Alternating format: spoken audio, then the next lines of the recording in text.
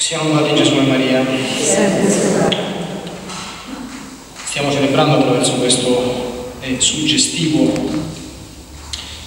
rituale liturgico della Santa Chiesa la commemorazione o celebrazione, come vedete, della passione del Signore. L'unica azione liturgica che la Chiesa compie, oltre alla liturgia delle ore in questo giorno, in cui si ricorda la passione e la morte. Come accennavo ieri, è questo, insieme a domani, l'unico giorno dell'anno in cui la Chiesa non celebra la Santa Missa. Lo sapete che se anche muore qualcuno e c'è un funerale, in questi giorni si fa il funerale senza la Missa. Il motivo è molto semplice ed è il seguente. Quello che oggi è accaduto, quello che abbiamo letto nel Vangelo secondo San Giovanni, quello che stiamo celebrando in questa suggestiva azione liturgica è la messa. Cercate di capirmi bene.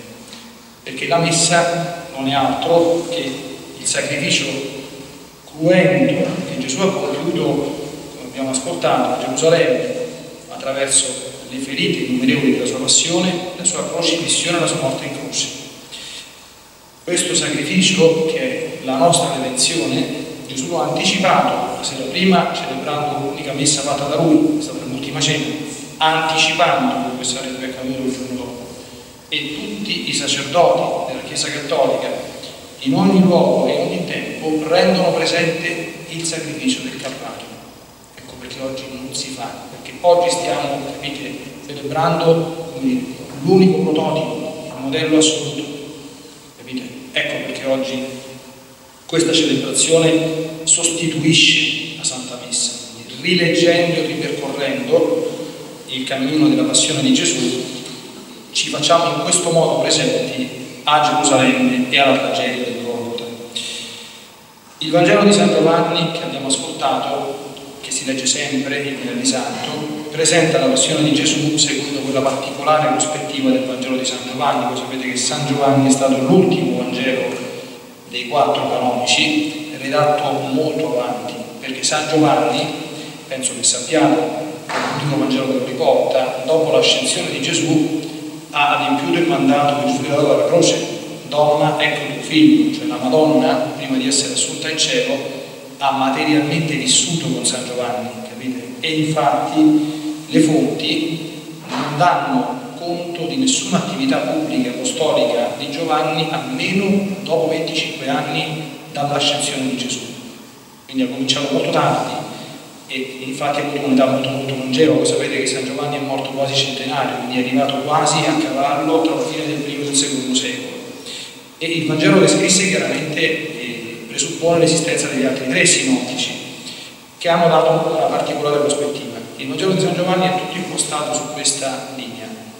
Gesù è il figlio di Dio fatto uomo, che volontariamente si è fatto uomo e volontariamente ha sofferto per noi. Questo si vede come un filo in tutte le sezioni che abbiamo affrontato, chiaramente non possiamo analizzare nel dettaglio, però pensate all'inizio, quando vanno in Getsemani, di solo San Giovanni nota questo particolare, le guardie chiedono chi cercate, Gesù risponde sono io, e che succede? Sentito?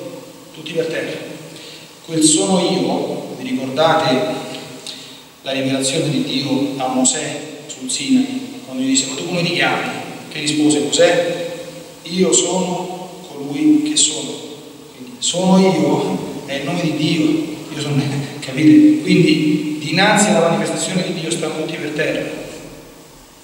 Poi Gesù ha ridetto, bene, sono io, in tono più piacato, e quindi prendetemi c'è una preghiera eucaristica molto bella, anche se molto breve, che era numero due, che quando prima della consacrazione dice queste parole, egli offrendosi liberamente sua passione. Cioè, a differenza di noi, Gesù non ha sofferto tutto quello che ha sofferto perché l'hanno preso e quindi una volta che ti prendono che fai? No. Io vi dico questa cosa perché a me da sempre, fin da quando sono piccolo, è una delle cose che fa più devozione, no? Voi sapete, quando poi ci capita una disgrazia, una cosa brutta, quella è la prima cosa che pensiamo. Come possiamo fare per uscirne fuori, per toglierci dalle ossa il più presto possibile, per scappare o no? C'è qualcuno che se gli arriva una sofferenza, una cosa, dice, vieni, me la posso risparmiare e me la prendo lo stesso. Cosa dice il mondo dinanzi a una cosa genere? Sei matto? È, è matto Gesù? No, non lo è. Gesù è Dio. La nenia che gli fanno, non riporta San Giovanni, no? Dalla, se tu sei Dio, scendi dalla croce. Se tu sei Dio, scendi dalla croce. Ma lo sapete qual è la risposta? È proprio perché è Dio che non scende dalla croce un amore così grande e così, tra virgolette, ho travisato questa espressione che sto dicendo, che trovo un altro a dire in giro che Gesù è matto, cioè è una follia d'amore, ecco. non fate come fanno a, volte con il nostro caro Santo Padre, che estrapolano le cose, immaginate, no? Dice eh, eh, che è matto, ha detto Gesù, eh, è una follia di amore, cioè capite? È un amore talmente grande, è una percezione talmente chiara della volontà del Padre che la nostra salvezza passava per questo, cioè per caricarsi, la prima lettura che abbiamo letto di questa sera, sarebbe da fare un commento lungo quattro ore, è bellissima, si è caricato dei nostri delitti, si è addossato le nostre iniquità, il castigo che ci dà salvezza si è abbattuto su di lui. San Paolo dice, a stento si trova uno oggi che sia disposto a dare la vita per una persona per bene oppure andarci. Ma Gesù ha dato la vita per quelli che sono cattivi. Non pensiamo soltanto a noi che stiamo qui, ecco perché noi non possiamo non dobbiamo giudicare mai nessuno. Perché il più grande criminale che in questo momento esiste sul pianeta Terra, l'essere più schifoso, più abietto, immaginate nel vostro immaginario qual è la cosa che ti fa più schifo e più ribrezzo. Quell'anima era presente alla passione di Gesù, e Gesù ama quell'anima non meno di come ama la mia e la tua. E se quell'anima accoglie quel sangue, salva pure lei. Capite? Cioè pensando bene alla passione, il nostro orizzonte cambia.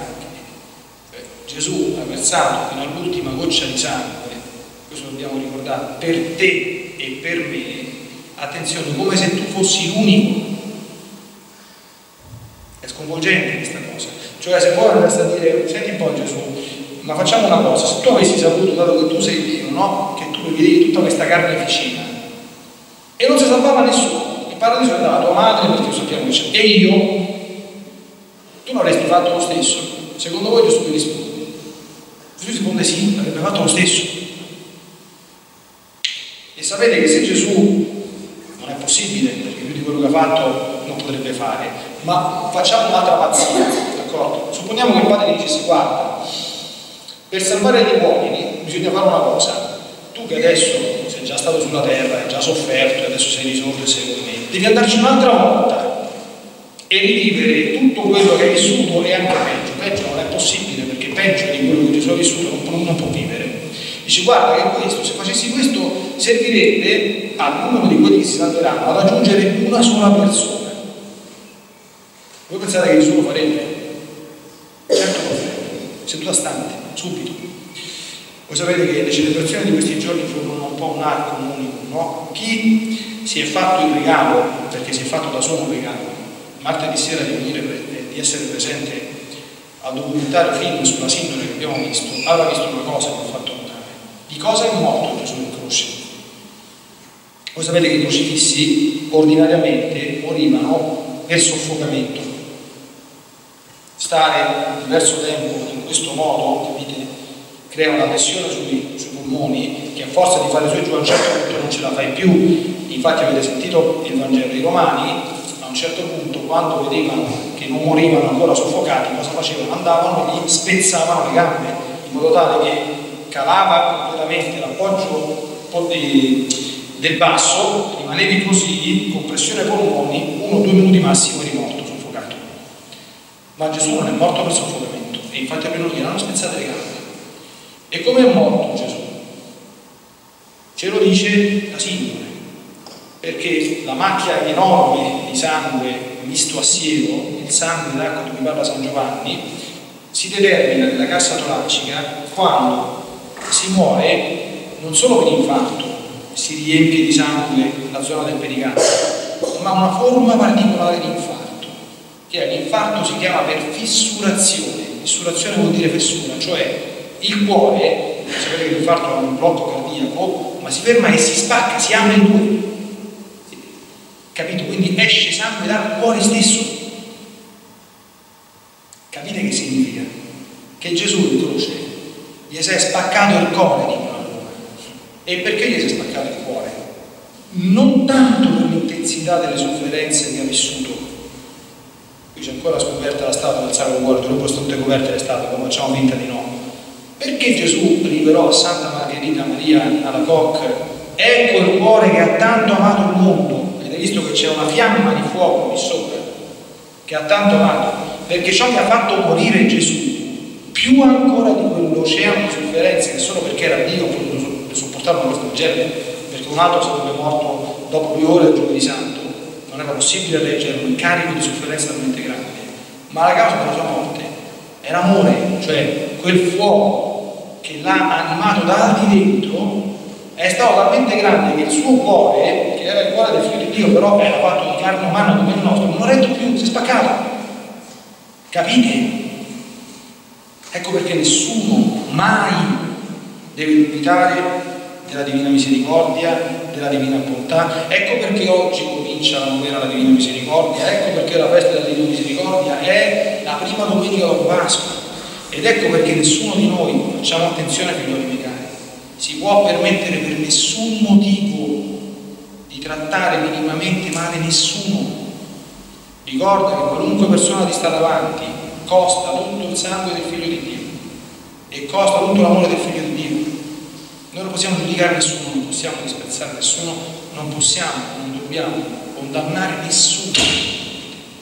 Possiamo solo prendere esempio da lui ci ha detto nell'ultima cena e concludo. Da questo tutti sapranno che siete miei discepoli. Da cosa? Se siete umili? No. Se avete fede? No. Se avete la speranza? No. Se andate a messa? No. Se pregate tanto? No. Amate tutti gli altri come io ho amato voi. Solo da questo sapranno che siete miei discepoli. Ecco perché oggi non è possibile, perché oggi si prende la croce, da quando sono arrivato, la comunione con il sangue di Gesù, anche con il sangue di Gesù. Ho detto, quando facciamo quel gesto non è semplicemente un rito per fare una cosa più bella, dico va bene, facciamo una cosa più interessante, facciamo tutte le due specie che è più bello. Ecco. Io ci ho tanto pensato durante la mia vita ecco. e a 46 anni, 13 quasi di sacerdozio, è la parola di Gesù, quindi non scopro niente, ma ho compreso la centralità assoluta di questa parola. Se tra di noi non nasce la carità con la cima minuscola, capite? A questi livelli, come io vi ho amato, cioè non soltanto non disprezzo nessuno, ma sono pronto per qualunque persona a fare la stessa cosa che Gesù ha fatto per, per me. Sono pronto a prendermi gli insulti che mi manda, sono pronto a prendermi le critiche senza reagire, gli schiaffi, tutto quello che se non siamo capaci di questo, siamo al di qua del cristianesimo. Qua. È chiaro che è un cammino, non è una cosa semplice. Allora adesso tra poco, dopo la preghiera universale, oggi la Chiesa prega per tutti, compresi i membri delle altre religioni, compresi gli, usiamo, gli atei, compresi la gente lontana, perché nel cuore di Gesù tutti sono contenuti. E la salvezza di Gesù nella sua intenzione vuole raggiungere tutti. Il problema è sempre la volontà umana. Dopo questa preghiera potremo adorare la croce di Gesù. Vi invito a fare questo gesto profondo, spirito religioso, con due disposizioni. Primo bisogna dire un grande grazie, un grande ti amo Gesù. Quando baciate la croce, se volete un consiglio, dite a Gesù grazie e ti amo. Eh, perché bisogna ringraziare per quello che ha fatto per noi e ricambiare quanto possiamo questo amore. Ricordiamo però anche che nella croce di Gesù c'è anche la nostra croce, vedremo questa sera durante la Via Crucis. E chiediamoci, ma io sono l'amico della croce? Faccio come Gesù, l'abbraccio la croce o la scanso? Eh, perché cosa ha detto Gesù? Vuole venire di me, deve prendere la sua croce ogni giorno e seguirmi. Quindi amare come lui ci ha amato e diventare amici della croce non perché siamo masochisti e ci piace soffrire ma perché abbiamo illuminato il senso soprannaturale della croce. E poi faremo la Santa Comunione e a accogliendo dalle ostie consacrate ieri Gesù nel nostro cuore, la celebrazione si chiuderà come iniziata in silenzio assoluto. Ecco, perché lo spirito di questa celebrazione è il silenzio orante, adorante e consofferente con Gesù, pieno di gratitudine per quello che Lui ha fatto per noi. Siamo dati Gesù e Maria.